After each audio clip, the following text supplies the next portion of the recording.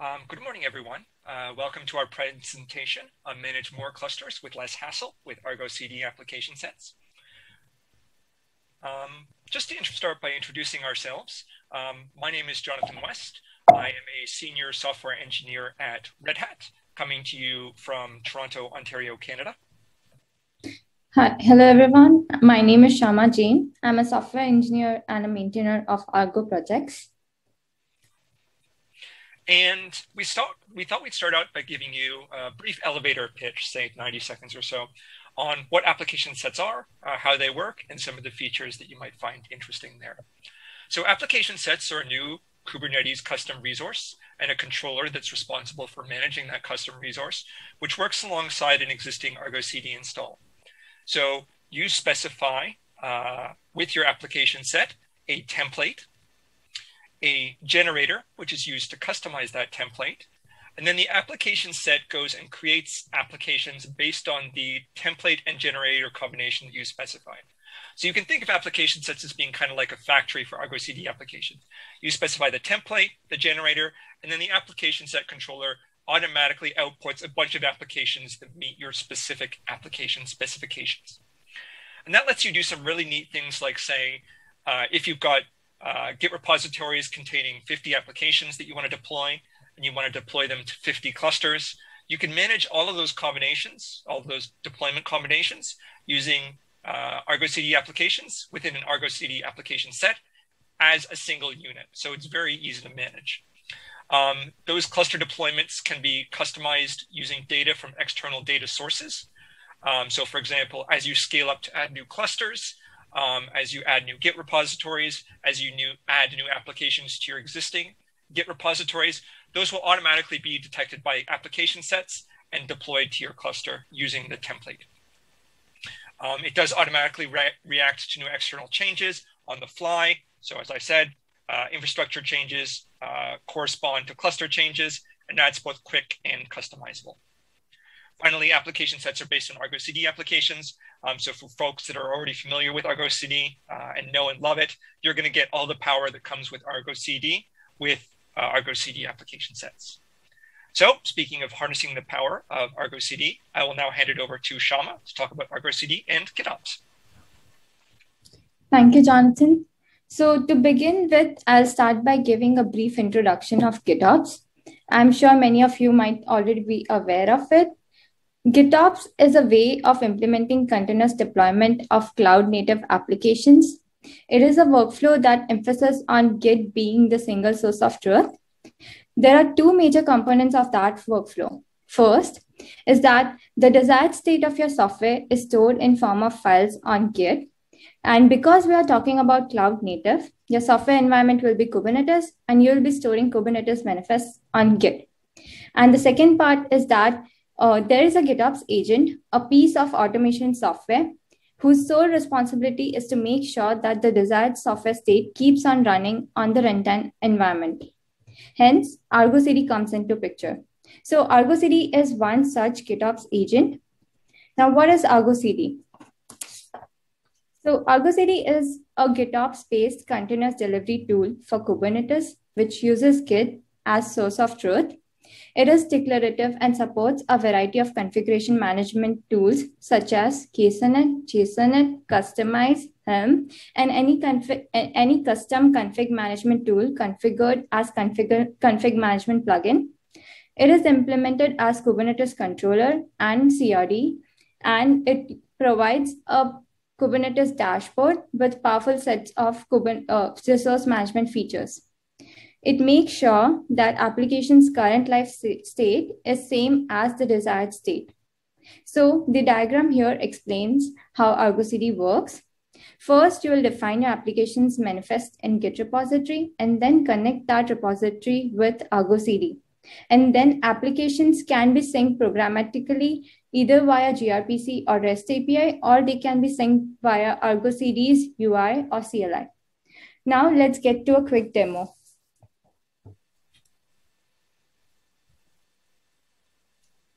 I'm sorry.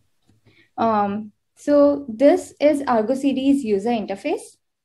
Here you can see various applications that this Argo CD instance is currently managing. Uh, let's get started by creating a simple application. So for demo purposes, I'll be using this Git repository uh, available as uh, Git, Git, this Git repository of sample applications available as part of Argo Proj. And today we'll be deploying customized application.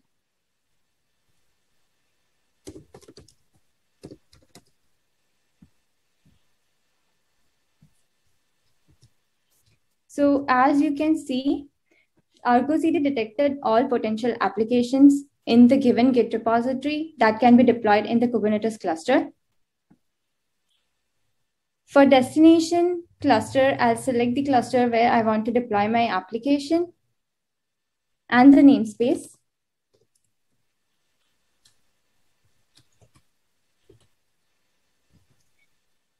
Here are some parameters that you can set for your application depending on the config configuration management tool being used.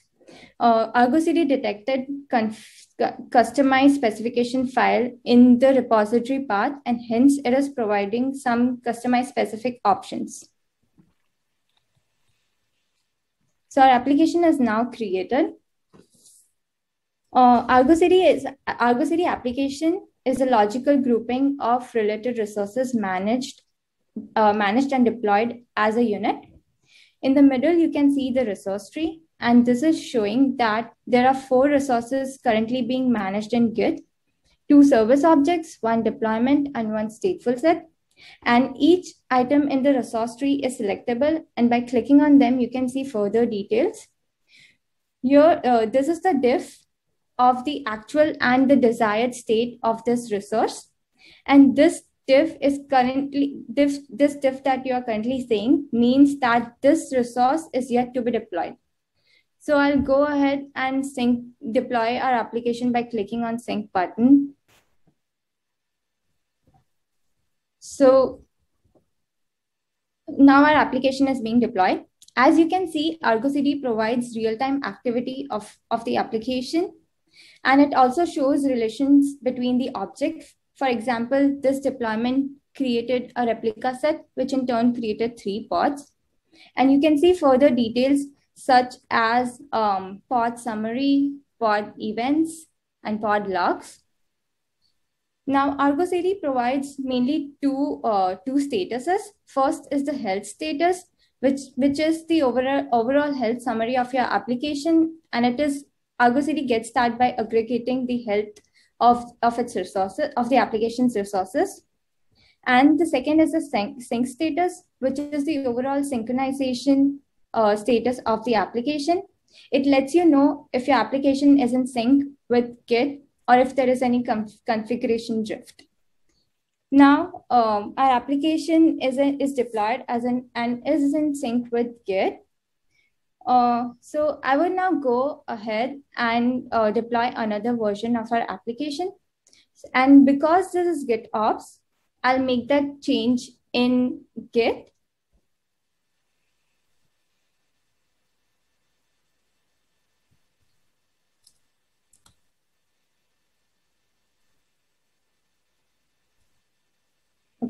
After making that change, I'll go ahead and refresh my application.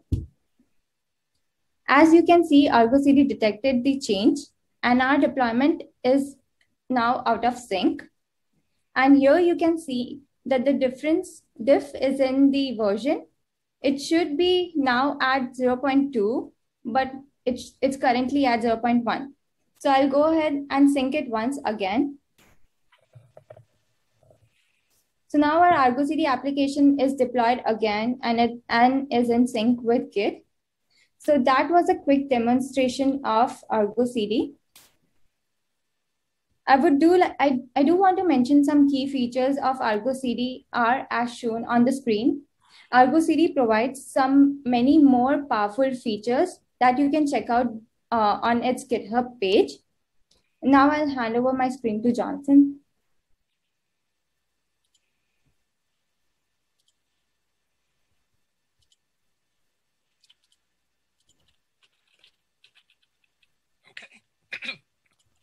Awesome. Uh, thanks, Kshama.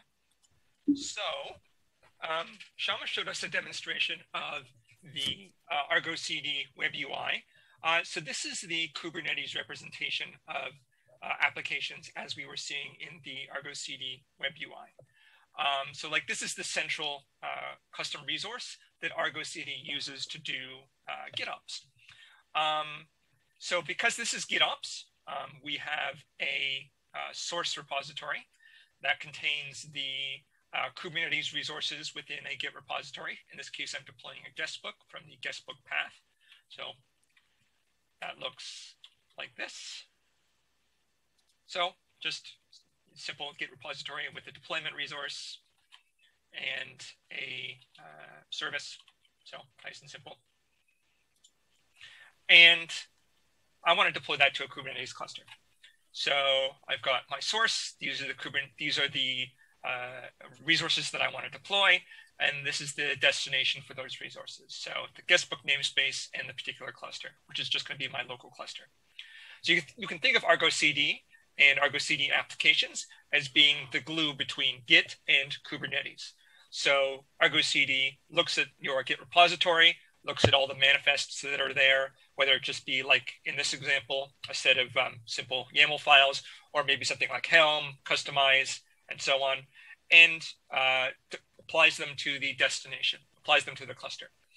Once they're applied, it's up to Argo CD to keep those in sync. So as we saw with Kshama's demo, if the Git uh, repository changes, it's up to Argo CD to make sure that what's in Kubernetes is always consistent with what's in Git. But notice that in the application CR, there's only one source and one destination. So you can't say, uh, I want to specify, uh, you know, I want to deploy this one Git repository to 10 clusters for like multi-cluster deployments. You can't say, oh, I want to deploy these 10 uh, Git repositories, this one cluster uh, for something like a mono repo. Um, it's just a one-to-one mapping between a single cluster and a single uh, Git repository path. Um, wouldn't it be great if we could say do many-to-many relationships between Git repositories and clusters? And I'm happy to say with application sets, uh, you can do exactly that. Uh, you can deploy to multiple clusters. You can deploy from a bunch of Git repositories all from a single application set, managing them as a single unit. And I will show you exactly how to do that as a demo in a few moments. So the application set controller is open source, of course. Uh, it's an Argo CD subproject hosted within the Argo Proj Labs organization. And it's built from contributions from many different folks, including individual contributions from folks from Red Hat, Snyk, Intuit, MLB, Alibaba Cloud, and more. It integrates alongside an existing uh, Argo CD installation. Uh, it's very easy to install alongside that. And then they work together in tandem to do um, deployments. So how exactly does an application set allow you to deploy from many different Git repositories to many different clusters? Well, it starts out with the application set custom resource, which is the main custom resource of the application set project.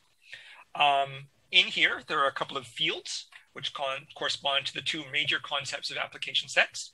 We see generators, which are responsible for generating uh, template parameters, and template, which is responsible for using those parameters. Um, so let's start with template. Um, you might recognize this from something I showed you uh, a couple of slides ago. Notice that we've got the source here, which is a Git repository, and the destination, which is a Kubernetes cluster. And you know that sounds familiar because we saw that a few slides ago with the Argo CD application resource. And that's because this template field here is just uh, an Argo CD application, a templated Argo CD application. So the exact same uh, set of fields that you get with Argo CD applications, you get here. So you get all the power of Argo CD. Um, but there is something new, and that's these curly braced uh, parameter values here. So two for cluster, one for URL. And those allow you to customize the contents of the application of the uh, deployment to a uh, target cluster with template parameters. So if we wanted to deploy to a different Kubernetes uh, server or from a different path than Git, we can customize that within the template. Um, so where do those parameters come from, uh, you might ask? Well, they come from generators. Generators are responsible for producing the parameters that templates consume.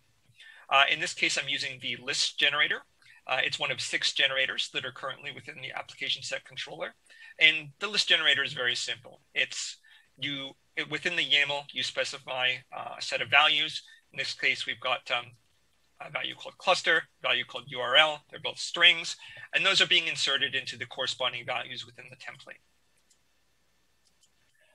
So this means take um, these values, put it in the template, and then that causes uh, this Git repository to be deployed to this cluster. So far, so good. Um, so that's all courtesy of the list generator. Uh, the list generator is definitely the simplest generator. It's literally just a set of simple keys and values. Um, so everything that you want the template to do is going to be uh, hard coded up front into the application set resource.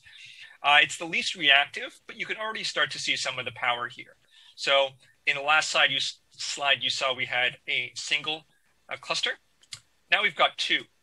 So just by adding these two extra lines of YAML, it now allows us to deploy our guestbook application to a second cluster. So the first one was, let's say, an engineering team cluster for development.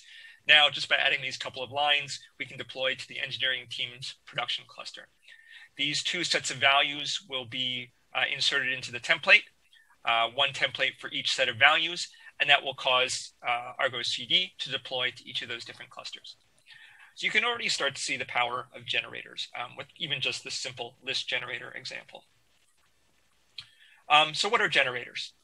Generators are responsible for generating parameters, which are then rendered into the template, uh, into the fields of the application set resource. Uh, generators are usually named for and based on the particular external data sources that they're generating template parameters for. So for example, the list generator is just a literal list of values that you define within the application set resource itself. The cluster generator is generating values based on the clusters that are defined in Argo CD, and I'll show you that in a moment. And the Git generator is using files or directories from a Git repository in order to generate those template parameters. So looking at the diagram, um, you can see the general pattern that uh, generators follow. So the list generator produces a set of parameters. Those parameters, so in this case, I've got a cluster field and a URL field and a couple of rows corresponding to each cluster I want to deploy to. So those sets of parameters flow into the template. Uh, the keys are replaced based on the keys from the parameters as we saw. And for each row, you get a corresponding application. So for the engineering dev cluster, that's going to be one Argo CD application called engineering dev guestbook, deploying to the dev cluster. Uh, one application called engineering prod guestbook, deploying to the prod cluster, again, corresponding to each of these rows. And it's up to Argo CD from there to actually look at these application resources and do the, the deployments to Kubernetes uh, from the Git repositories that are included in those individual uh, applications. So that's the application set data flow in a nutshell. Generators produce parameters, templates consume parameters, uh, and then uh, the application set controller turns those uh, rendered templates into Argo CD applications. Uh, and from there, it's the responsibility of Argo CD to actually uh, deploy those to the cluster, to look at the Git repository, compare it with what's in Kubernetes, and keep them in sync. Um, so that's enough talking for the time being. Uh, let me show you a demo of all that. So I'm going to jump over to my uh, Argo CD installation here, and you'll notice uh, that I have no applications defined at the moment. And I'm going to bring up my application set resource. Um, this is uh, nearly exactly the same as the one I just showed you. Um, so it's a list generator with a couple of values, one for engineering dev, one for engineering prod. Uh, we're deploying our guest book and we're doing it from the application set repo, uh, customizing the server field, the namespace field, and the name. So I can apply this example to our Argo CD namespace. And you're going to see that the application set controller is going to pick that up and automatically generate Argo CD applications for each of those, one for each cluster that we want to deploy to. So in our list, we had the prod cluster, the dev cluster, And here you see the application set has read the application set uh, CR and generated the corresponding Argo CD applications. So um, uh, because I have am using manual sync, um, I can go in and click sync and Argo CD is going to do the actual deployment. But you can also use Argo CD's uh, automated sync to automatically have it deploy uh, applications as soon as they're created by the application set. Um, so just as we saw with Kshama's demo, we've got our service and deployment created, the replica set's going, it's creating pods, and yeah, Argo CD is doing its thing and keeping the Kubernetes cluster namespace in sync with the Git repository that we have defined for it. But as I said, you can customize applications based on the contents of the application set template. So I can go into our list and for example, just make a simple change. Let's say I want to rename our applications by adding demo in front of them, for example. Now, normally what I would have to do if I want to do this within the web UI is I would have to like go into app details, click edit, um, make the change that I want, save that, and so on. And I would have to do that for every single application that's defined. Here, I can just edit this single uh, resource, this single application set, adjusting the template, saving that, applying it, and it will automatically take effect for all of the applications that we have defined. So now you see it now says demo for each of them. So prod and guestbook. And this is our old one. Uh, it will be deleted as soon as it finishes syncing in order to stay uh, in sync with the new template. So just like that, um, and there it goes. So just like that, you can see how I'm able to make changes to the application set resource, and it will automatically affect all of the child applications. So I can put this back, and I can do something like, say, change the namespace that they're, they're deploying to. So let's say three and four. Apply that, and nice and fast, guestbook three, guestbook four. Finally, we can just delete the parent application set, and it will automatically delete all the child applications.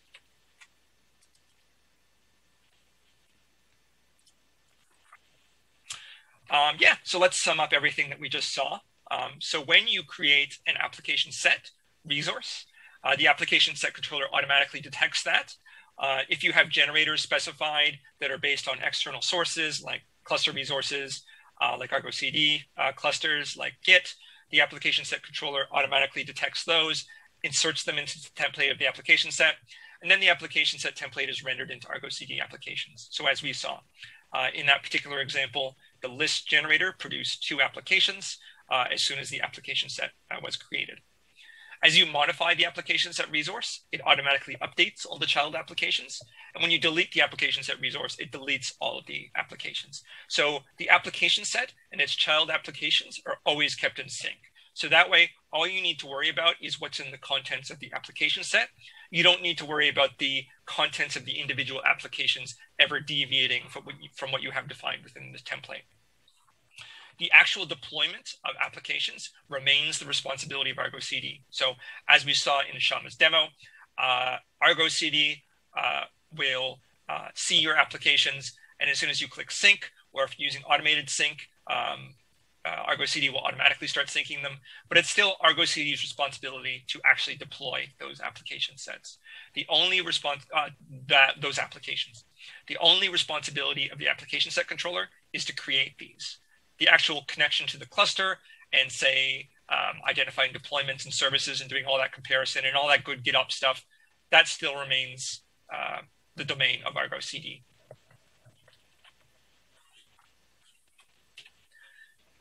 Um, so as I mentioned, uh, the power of templates comes from the generators that feed into them. Um, there are many different generators for many different use cases. Um, we already saw the list generator, where you had to hard code a set of values in order to insert them into the template. But there are much more powerful generators, um, starting with the cluster generator. You'll recall with the list generator, we actually had to hard code the particular clusters that we wanted to deploy to. Um, and that's fine. But what if you could automatically detect the clusters that are available? So within Argo CD, within the settings, there is this clusters uh, section where you can see all of the clusters that Argo CD has access to. Uh, in my case, it's very simple. I'm just running on my laptop, so there's the one. But if you're doing multi-cluster deployments, you can have like, I don't know, 5, 10, 50, you know, as many as you want with Argo CD managing all of those. So what if, rather than needing to hard code them as we did with the list generator, we could just pull all of those clusters that were already defined within Argo CD. And that's exactly what the cluster generator does. It looks at the clusters defined within Argo CD, and all you need to do is just specify this simple one line of YAML. And it will automatically detect those and start deploying your applications to them from GitOps. So pulling the name and server values from Argo CD and deploying your applications. Now, let's say you've got um, prod clusters and dev clusters. Maybe you only want to deploy to development. You can target a subset of clusters very easily using cluster annotations. You can see the docs for that. And as new clusters are added or removed, the application set controller automatically detects that and updates the corresponding applications. Um, next, we've got the Git directory generator. Um, many folks uh, follow the GitOps workflow of having a set of uh, Kubernetes resources for their applications defined within a directory. This is known as the monorepo approach. So let me show you what that looks like real quick. So within this cluster add-ons directory, I've got a uh, couple of applications I want to deploy, one called Argo Workflows and one called Prometheus Operator. Uh, Argo Workflows is the Argo project's workflow controller for uh, orchestration. Uh, Prometheus Operator is uh, for um, application monitoring uh, workflows is Kustomize, and Prometheus operator is Helm. Wouldn't it be great if um, we could just scan this Git folder for all the applications contained within it and automatically deploy the applications that are found there? So, you know, not surprisingly, that is exactly what the uh, Git directory generator will do. It will scan through the path that you have defined for applications contained within that Git repository within the path and deploy them to the cluster. And again, that's great for folks that have uh, multiple workloads or components or microservices, uh, and they have Kubernetes resources defined for them within a single Git repository. This will find all of them and deploy all of them, all from this single application set. Um, some folks prefer the opposite approach when they're doing GitOps. Uh, so rather than having one single uh, Git repository containing the resources for multiple applications, Instead, they have a one-to-one relationship between application and repository. So one application and its Kubernetes resources go in one repository, one-to-one. So for them, we have the SCM provider generator, which will scan a GitHub or GitLab organization. Uh, in this case, I'm using uh, GitHub. And it will look for all the repositories within the organization that match a particular name. So in this case, example apps. So if I had like example apps one, example apps two, example apps three, the SCM provider will scan through my organization, automatically find all of those uh, applications that match that path or, or that uh, name, and deploy them to the Kubernetes cluster um, using the template values that are uh, generated by the SCM provider. Um, so this is great for folks that um, prefer to do GitOps by having one Git repository per application. And this allows them again to manage that all the deployment of those all from a single application set. The third Git-based generator is the Git file generator. Um, real quick, this allows you to define uh, JSON or YAML files within a Git repository and uh, have them automatically processed and parsed and inserted into the application template uh, by the application set.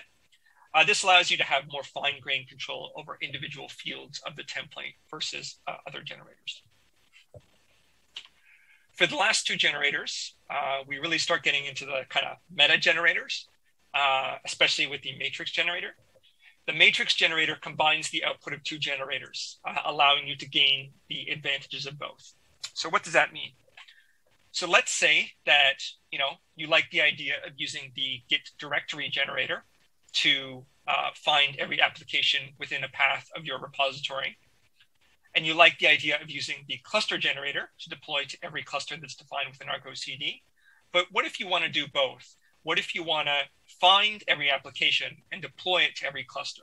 So before you couldn't, before you could just do either one or the other. You either you need to pick one of those two generators. So either use the Git generator to find all the applications or use the cluster generator to deploy to all the clusters.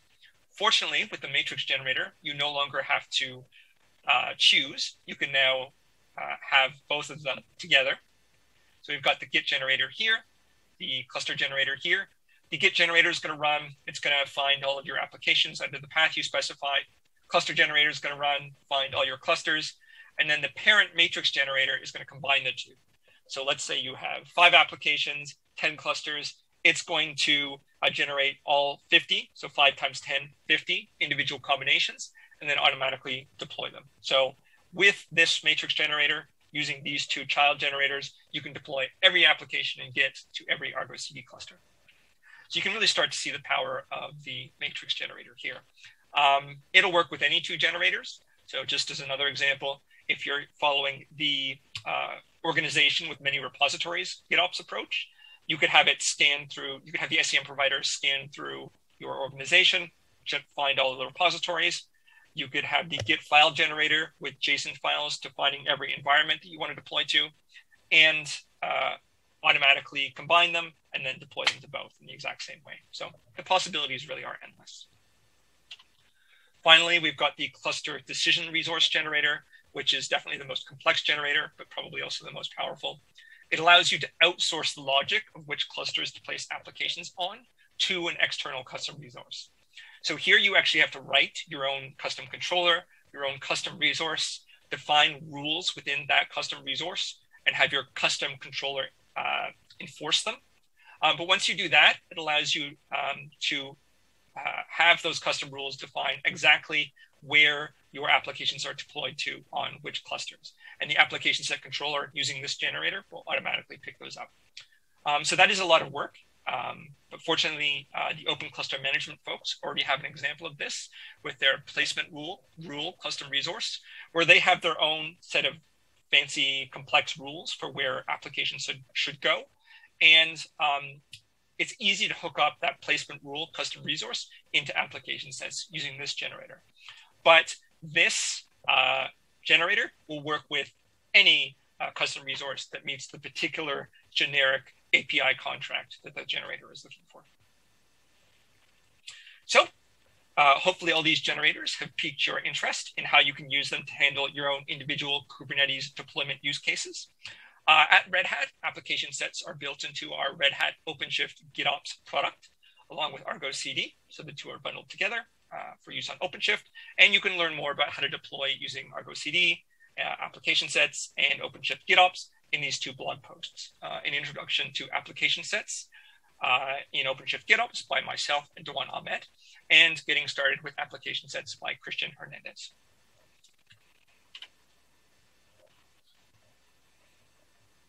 And uh, over to yeah. So yeah, as Jonathan mentioned that with application sets, you can automatically deploy a Kubernetes resource to multiple clusters from Git repository and manage all those relationships as a single application set CR. So leveraging that at Intuit, we adopted application sets to automate the add-ons installation customized across multiple Kubernetes clusters. One such add-on being Argo rollouts, so Argo Rollouts is a rollout controller of Argo projects, and it is a progressive delivery controller that provides advanced update policies such as Blue, Green, and Canary for Kubernetes clusters.